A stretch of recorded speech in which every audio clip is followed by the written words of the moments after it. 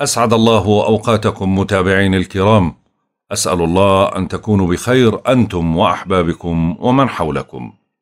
طبعا على حسب رغبة الجميع أنه نعمل حلقات مفصولة للتوقعات الأسبوعية للأبراج.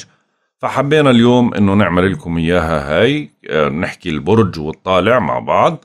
فاللي برجه القوس وطالعوا القوس بسمع الحلقة هاي اللي طالعوا أي برج آخر الحلقات تقريبا كلها صارت نازلة موجودة على القناة تقدر تروح وتسمع طالعك وتدمج ما بين التوقعات بالنسبة للأيام فهيك أنت بتطلع بتوقعاتك الخاصة لإلك. طبعا بداية من اليوم الخميس من مساء يوم الخميس حتى مساء يوم السبت القمر بكون موجود في الجوزاء. عشان هيك الأمور هاي كلها بتركز على مواضيع إلها علاقة بالشراكة. فبوسعكم تعزيز شراكتكم سواء في العمل أو في العاطفة أو ما بين الأزواج. هاي فترة صعبة وثقيلة خلال يعني بتثقل خلالها الهموم والمسؤوليات بسبب تقابل القمر معك في بيتك. لا تنفعل وحاول الإضاءة على الإيجابيات. ما بينفعك التوتر ولا الجدال بالفترة هاي. عالج كل التطورات بموضوعية وأعصاب باردة. ما تتسرع في اتخاذ القرارات.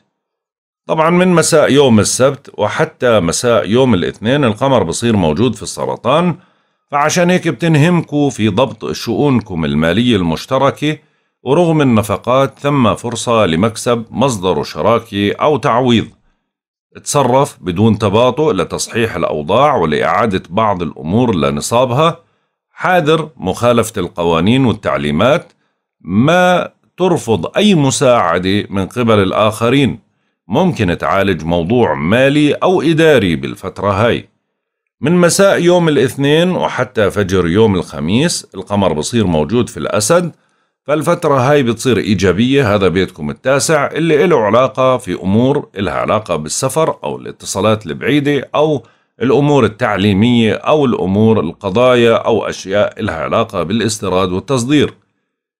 هاي الفترة بتنشطوا فيها في أوراق السفر أو معاملات أو أشياء أو اتصالات بعيدة. وممكن تشارك في حملة أو ورشة عمل تشتد رغبتكم في التقرب من أحبائكم وتعزيز العلاقة معهم. ممكن في هاي الفترة بعضكم يسافر في رحلة أو ممكن يفرح لانفراج أو تسوية مهمة. تهتم بهواية جديدة حيويتك عالية ومتحمس لمتابعة المساعي. وكمان القدرة عندك على التواصل مع المحيط بتكون عالية جدا. من فجر يوم الخميس وحتى فجر يوم السبت القمر بصير موجود في العذراء. بوسعكم المحافظة على سمعتكم وإنجازاتكم القائمة في مجال العمل. يوم أو فترة مناسبة للي بيبحث عن عمل. أهم شيء إنك ما تجازف بسمعتك أو حتى باستقرار وظيفتك. اتجنب التصرف الارتجالي ركز بشكل جيد على عمل واحد قبل الانتقال لعمل آخر. ونظم أعمالك عشان تكون آه، أو يكون عندك القدرة على إنجازها بشكل كامل. هيك بنكون انتهينا من توقعاتنا لهذا الأسبوع. والله أعلم. يا رضا الله ورضا الوالدين. سبحانك اللهم وبحمدك. أشهد أن لا إله إلا أنت. أستغفرك وأتوب إليك. أترككم في رعاية الله وحفظه. إلى اللقاء.